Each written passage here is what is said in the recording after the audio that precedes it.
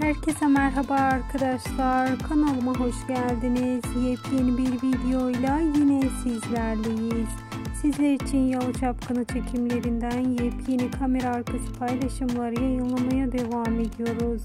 Bugün Yalı Çapkını çekimleri AVM'deydi ve AVM çekimlerinde Ferit Korhan, Seyran ve tabii ki diğer oyuncular da bulunmaktaydı. Aldığımız bilgilere göre çiftimiz ilk kez 2 e, yıllık aradan sonra AVM'de karşılaşıyorlar. İşte sizler için diğer karakterinin de ilk çekimlerinden ilk kareleri paylaşıyorum arkadaşlar.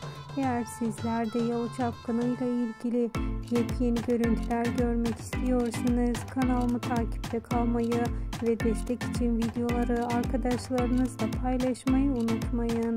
Şimdilik ise benden bu kadar. Hoşçakalın.